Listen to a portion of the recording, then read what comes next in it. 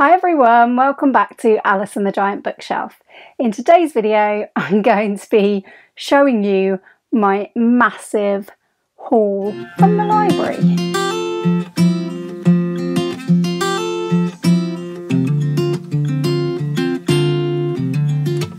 Hi everyone, welcome back to my channel or welcome if you are new. My name's Alice and I have way too many books. In spite of those way too many books, I have been hauling a lot of books from the library lately. And if you've been here for a little while, you will know that that is because of the Women's Prize. By the Women's Prize, I mean both the non fiction long list, which is in its inaugural year, and the fiction long list, both of which have now been announced, and both of which I have decided I can only read the books if they are available in my library or available on audiobook. But today's video is kind of going to be a cross between my Women's Prize reading plans and update of how I am getting on with that and a library haul with also a tiny little bit of a book haul because at the end of my wrap up from February I said that I had hauled um, I think probably two more graphic novels that I haven't shown yet.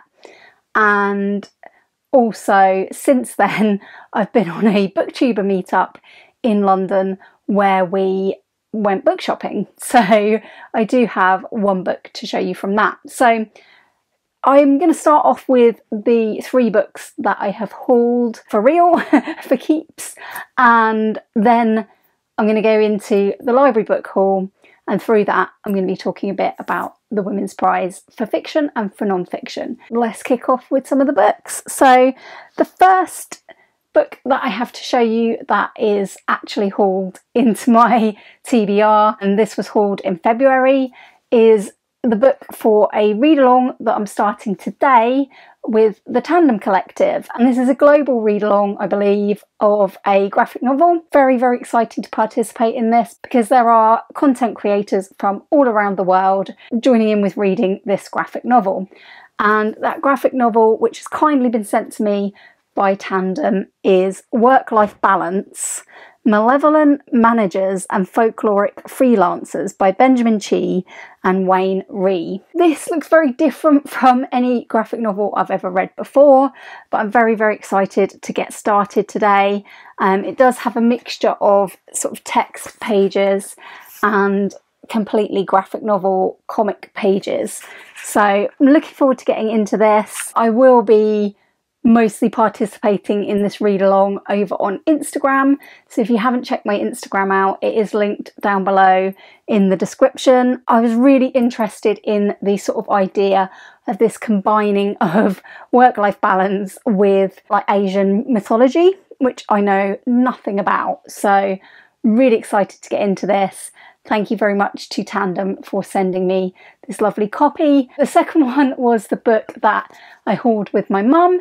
My mum and I are doing a sort of book subscription this year where every month we're going to go to a bookshop together and buy each other a book. I won't talk about this one too much because I do still really, really want to do a video with me and my mum. So February's book, we went to Sevenoaks Bookshop and I picked a Guest in the House by Emily Carroll. I've had my eye on this graphic novel for a while. I've never read Emily Carroll before, but they I've heard some really good things about this. I think that this is a horror. Definitely looks a bit scary and it says in the front. Abby is settling into married life, making coffee, cooking for her husband David and her stepdaughter Crystal, spending evenings curled up together in front of the TV.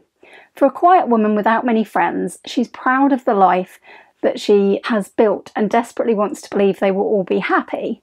But what really happened to Crystal's mother? The artist who no one speaks of. What secrets does their strange house by the water harbour? And what of Abby's old dreams and fears of Lady Grey, the Knight, and the Dragon? In her chilling return, a story of grief, ghosts, and the struggle to be true to oneself, Emily Carroll casts another unforgettable spell. So I'm really, really looking forward to reading this one. I may even get to this this month and I really like the style of this one. It's, I think this is almost entirely graphic novel, but there are some pages with a little bit more text. And there are some splashes of colour in this one as well. Very much looking forward to that graphic novel too. And I've just noticed how awesome the naked hardback is under the um, black jacket. So very, very cool. Very happy to have that. Thanks to my mum for buying me that one in Sevenoaks Bookshop. And the final book that I've hauled onto my giant TBR, this one I actually hauled in March and I hauled it at the Booktuber meetup that I went to in London. Hopefully I'm putting a few pictures up on the screen, but as always with these things, I was far too carried away chatting to people and looking at bookshops to take lots of photos. Thanks to my friends who have allowed me to use these photos. It was so lovely to see all of the booktubers again in person and meet some new booktubers who I'd not met before in real life. And I miraculously came away with only one book from that meetup, and that was a book I've been after for ages, which was A Closed and Common Orbit by Becky Chambers. This is, I believe, the second book in the Wayfarers series. Although I've been told you can read these in any order, I have heard really, really good things about this one, which was the second one to be released.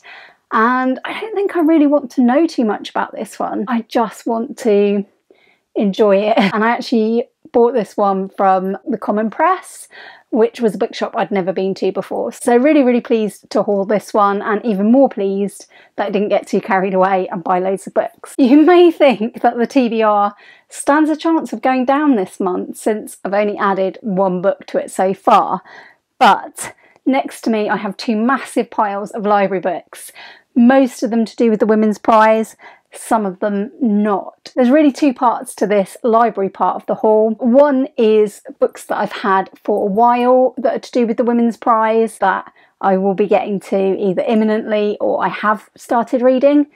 And there's books that I got from the library yesterday when my first batch of reserves from the Women's Prize for Fiction long list arrived. I haven't really updated on my Women's Prize reading on the channel. I had a bit of a pause completely on Women's Prize stuff because everything I've got is obviously from the library and I went on holiday and I didn't want to take any library books with me. But when the Women's Prize long list for non-fiction first came out, I actually had already got two of the books out of the library, and it was just because I had a really strong feeling that both of these books would be listed and they were, which has never happened to me before. So the first one was Doppelganger.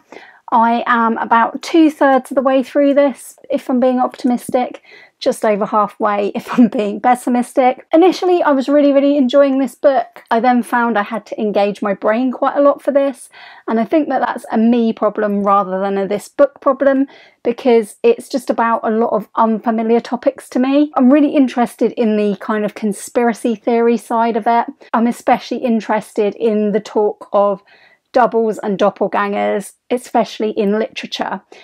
What I'm not as interested in is the US politics side of this one. I am enjoying Naomi Klein's writing, but I do find it is not necessarily entirely about topics that I find interesting or easy to read about. So I did put this one on pause for a little while, and that was mainly because I needed to return another book to the library, so I had to prioritise that one. I have now finished that book, so I probably will go back to this, at least to give the last third of it a try. There is a chance I might put this down, but on the other hand, the part of me that doesn't DNF feels like I've come too far with it now to let it go.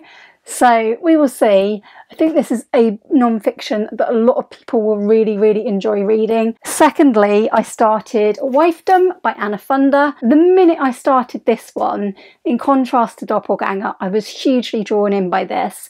This is sort of a biography of George Orwell's wife, Eileen. And the author also uses fictional elements, but very, very well researched fictional elements, I would say. And I'm going to be recording a review of this one probably next, probably straight after this video, so I won't go into it very much except to say that I have finished this one this morning. I did also have out of the library from this next batch of books a Flat Place by Noreen Masud, but because I went away on holiday and lots of other people had reserved it, I have had to return that. I have placed another reserve on it to see if I get that one in time for reading it within the prize window. I think I'm still interested in it, even if I don't get to it in the prize window. But the other two books that I picked up in the same batch, which is a couple of weeks ago, was this one, Thunderclap, a memoir of art and life and sudden death by Laura Cumming. I'm hearing a lot of really positive things about this one, and I know it was one on the non-fiction list that a lot of people were immediately drawn to. And I think this did recently come up in another prize and potentially won that prize, but there's been so many prize announcements in March that I'm not altogether sure what it has won. And this one I'm really looking forward to reading, either after Doppelganger or before. This will be the next non-fiction one that I go to. So really, really looking forward to getting to that one. And the other one I picked up in the same batch was Eve, How the Female Body Drove 200 Million Years of Human Evolution by Cat Bohannon. And this one I did predict would be on the long list, and it was, but this is possibly on a topic that I think will be too tricky for me to get my head round. So it will very much depend on the writing style as to whether I decide to read this one in its entirety.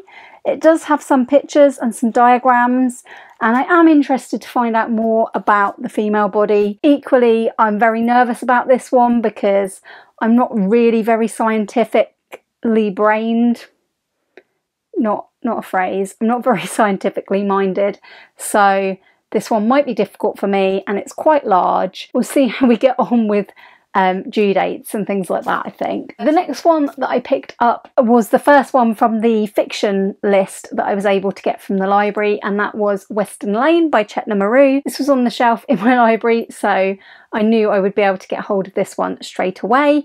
And I have actually started this one. Read a couple of pages the other day, but I started it in earnest today and I'm nearly halfway through this. It's a very short book.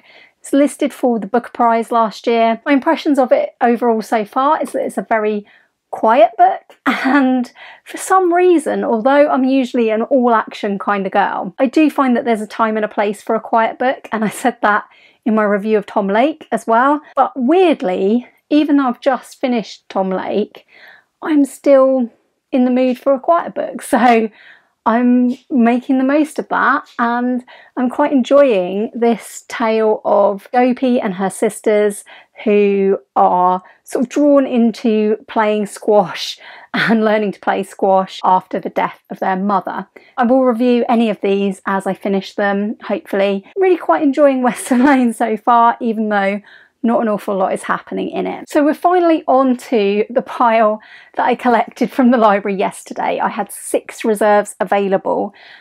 One is connected to the Women's Prize, one is completely unrelated and I've been waiting for it for a long time, and the other four are the first reserves to come in from the fiction long list. I've actually ordered this pile vaguely in order from least interested in to most interested in. And unsurprisingly, the one that I'm most interested in is actually the one that isn't Women's Prize related. Let's talk very briefly about my changing thoughts about the Women's Prize for Fiction long list this year. So, we have had reaction shows over on the Plod Along. In case you've missed it, the Plod Along is the read along that I host with Charlie Brook Reads and Gemma from Gem of Books. Basically, it's just a way of us all chatting online about the Women's Prize and the books that it brings us. So we did have a reaction show to the long list for both of these prizes. I was very caught up in the excitement of the Women's Prize for Fiction long list because I just find the announcement so exciting. I always know that there's going to be surprises. I always know that I'm not going to have heard of a lot of the books.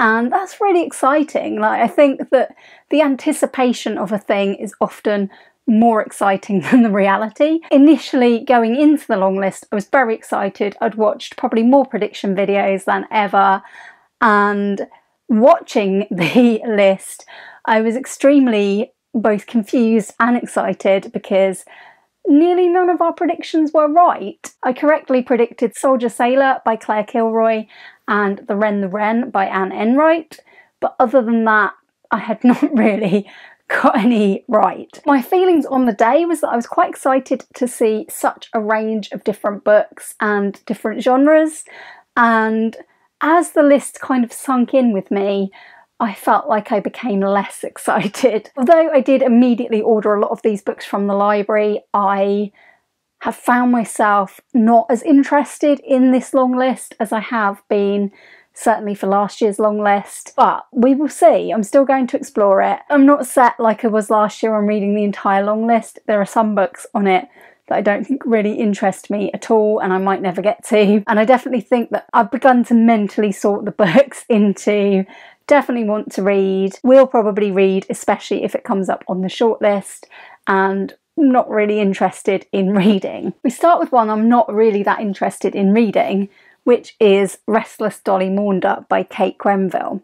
Now, I'm trying not to prejudge this book because Kate Grenville is one of the authors with some previous with the prize. She actually won the Women's Prize quite a while back. I've never read a book from Kate Grenville, but I had heard of her. And this one is going to be about Dolly Maunder, who's growing up in a poor farming family in rural New South Wales in Australia. So I'm not too sure about this. Um, it says Dolly Maunder was born at the end of the 19th century. It's kind of a time that I do enjoy reading about, and I've never read something set in Australia in that time frame, so that could be interesting. The premise of this just doesn't really grab me, but it is a very short book. I am going to give it a go and we will see if it ends up on this pile are higher than it started on the pile of interest levels. The next one on my pile is Hangman by Maya Binyam. I think I might actually get to this one next, although I'm not sure. I've heard mixed things about this, I think, although not a lot of things so far and it describes itself in here as a man's tragicomic journey through homecoming and loss. And he's returning home in this book to sub Saharan Africa after 26 years living in exile in America. I am interested to read that. I think stories of homecoming are always interesting. Again, it's very short, and I've heard that this one's quite strange and quite funny. So we will see if it lives up to any of those things. It's one I'm quite curious to get to. And the next one on my pile is not actually on the long list. So we were all a bit surprised, me included, when there was a sci-fi book on the list and that was by Karen Lord and it's called The Blue Beautiful World. I'm still waiting for my hold on this one to come in in the library and I think it's kind of climate change driven sci-fi which I am very interested in. So I almost feel like one of the only people who is getting really excited about reading this book. But I did also hear that Karen Lord, who is an author from Barbados, I believe, has written two other books that are set in this same sci fi world. And I also heard a rumour that reading Blue Beautiful World would make a lot more sense if you had already read the other two.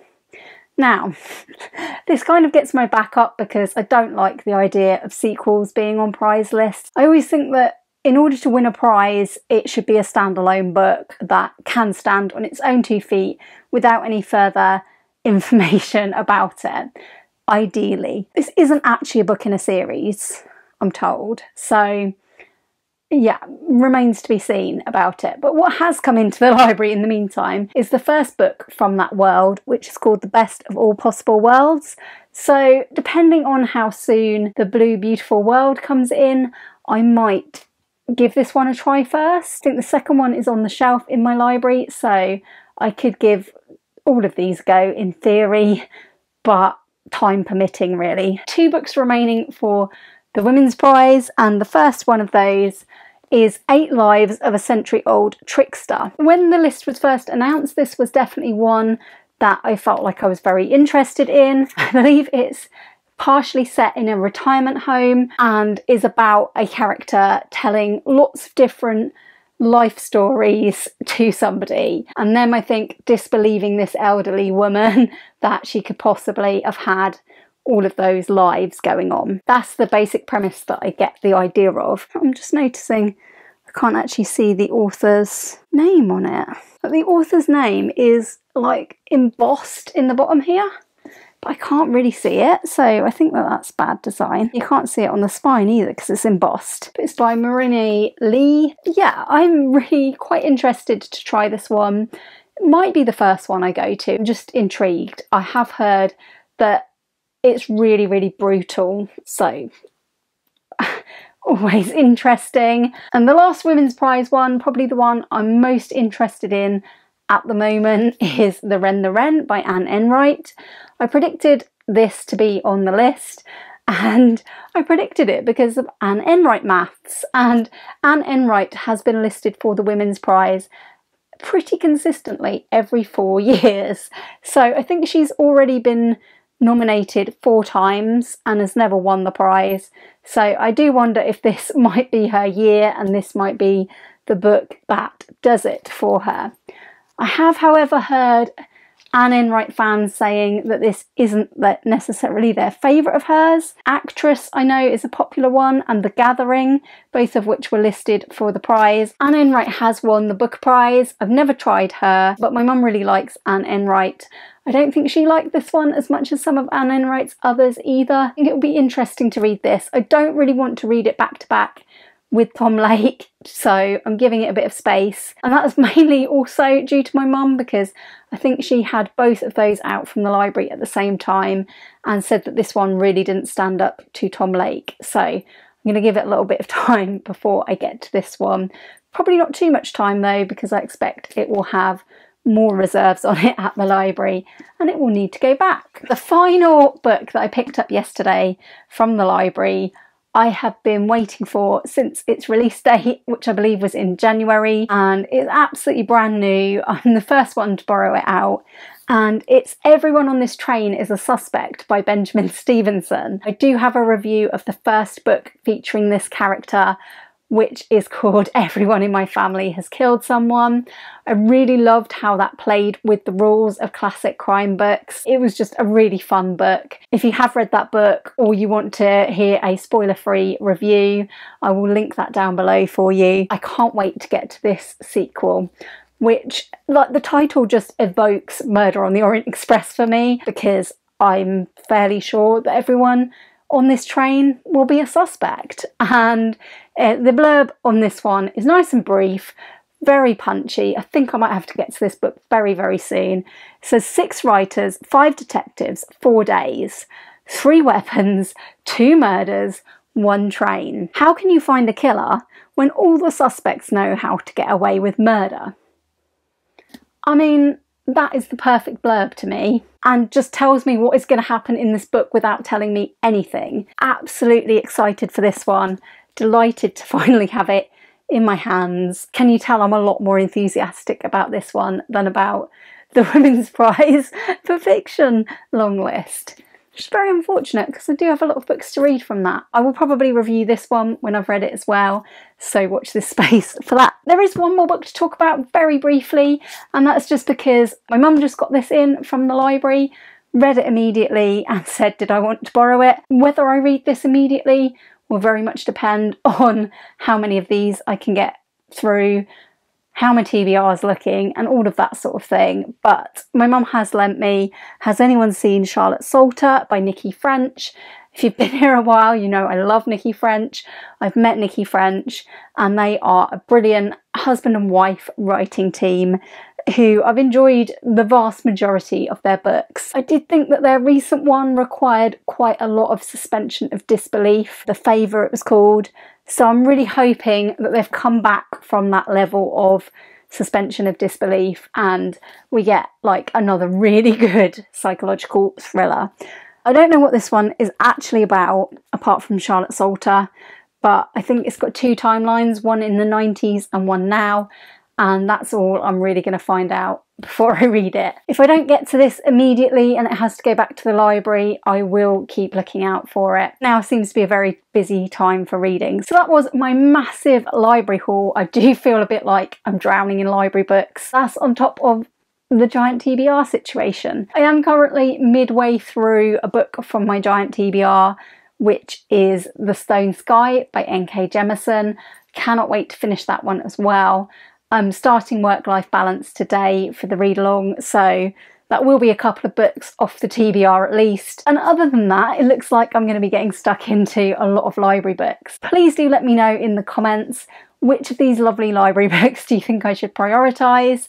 If you have a different opinion to me on the Women's Prize books and where I should start, let me know. Love to hear your opinions. I may even choose based on them. I definitely am feeling still more enthusiastic about the non-fiction long list than I am about the fiction long list, but hopefully some of these books will begin to change my mind. Very questionable as to whether I will finish another non-fiction before the announcement of the shortlist next week seems to have gone so quickly for a list of 16 non-fiction books. I really do think there ought to be a little bit longer between long list and short list. I would have liked that. I suppose that from next week we will know what's on the short list. So uh, maybe I will prioritise the six books that are on that, and there should be plenty of time to get some reading done of them before the winner is announced in June. If you are following along with our Women's Prize plod along, or you would like to, our next show is going to be next Wednesday night, the 27th of March, and it is the reaction to the shortlist for the non-fiction books. So please do join us for that, 8pm GMT. That will be here on my channel. As I've said, please do comment down below and let me know all of your Women's Prize thoughts. If you've enjoyed this video today, please do give it a like and please do consider subscribing if you haven't already. I will hope very much to see you all again soon for another video all about books here on Alice and the Giant Bookshelf. Thanks for watching today and bye for now.